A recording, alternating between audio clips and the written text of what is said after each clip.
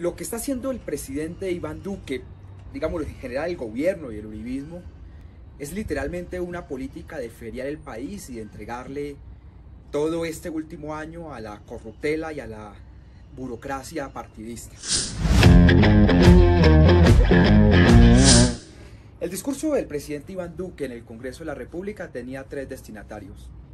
Los congresistas para que le aprobaran su nueva reforma tributaria, a la policía y la fuerza pública para la mini reforma que van a hacer, y luego todas sus barras bravas para el tema de la criminalización de la protesta social.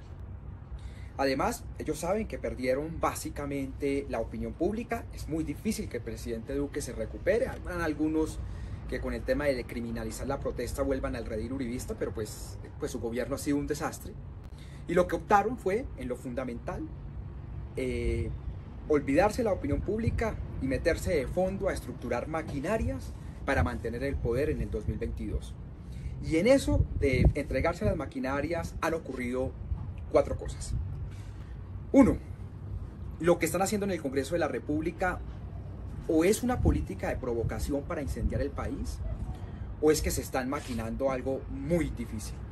Porque las personas que nombraron presidente del Senado, Juan Diego Gómez, cuestionado por múltiples cosas, la señora Jennifer Arias, la lobista de las empresas del narcotráfico de aviación, y ahora nombran a un señor Villamizar como el presidente de la comisión de acusación, no tendría otra explicación o que están preparando algo por debajo de la mesa o pues que quieren provocar el país para que esto se incendie. Pero por ejemplo lo que acaba de pasar en las últimas horas con el señor Villamizar es complicadísimo. Su papá salió salpicado en el escándalo las notarías. Este representante a la Cámara del Centro Democrático se vio envuelto en un escándalo bastante curioso, llamémoslo así, en el tema de despojo de tierras en el marco del conflicto armado, de un predio, y aún así lo nombran en la comisión de acusación. Algo se están preparando.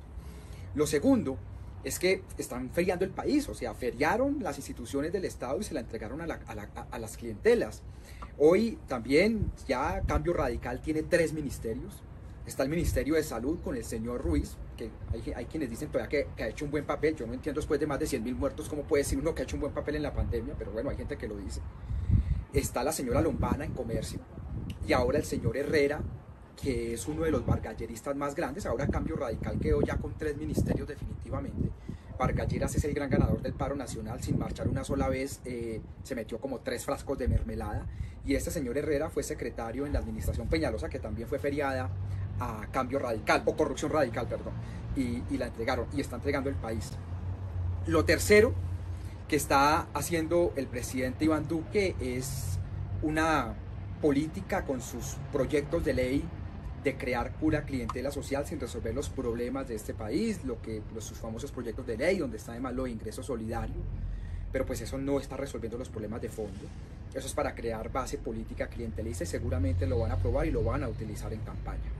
Y lo cuarto que estamos viendo dentro de este gobierno nacional es lo que pasó con Venezuela. Ahora otra vez quieren meter a Venezuela en el tema electoral, entonces el presidente Duque, que lo cual es cierto, dice que allá están las disidencias de las FARC, el ELN, pero no habla, por ejemplo, del clan del Golfo, los rastrojos. Estos últimos fueron los que pasaron a Guaidó en el famoso concierto de la frontera. Y está lo que está buscando es volver a meter a Venezuela en el debate electoral. Y, yo le digo al gobierno Duque, mire, tengan cuidado con el país, ustedes van a entregar, es un desastre, lo que, lo que está pasando es un gran desastre.